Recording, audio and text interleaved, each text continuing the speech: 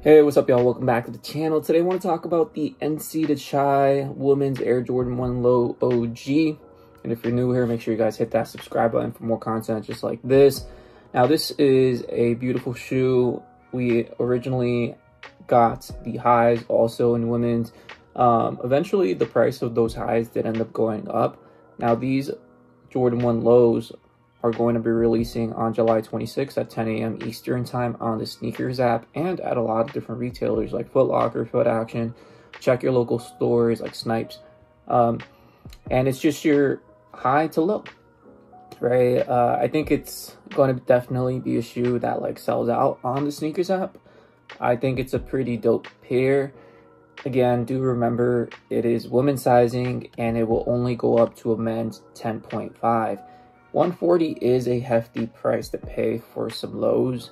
My opinion, it should be like 130, 120, or even lower. But um, do I see it reselling? Not really. If it does end up reselling, it might be like 20 bucks, 30 bucks above uh, retail. And this might actually be a pair that like sits at different malls. You might be able to go into stores and actually go in and, and buy buy a pair, especially in smaller sizes. I can see bigger sizes selling out, so those are the sizes that I do anticipate it being like 20, 30 bucks above retail.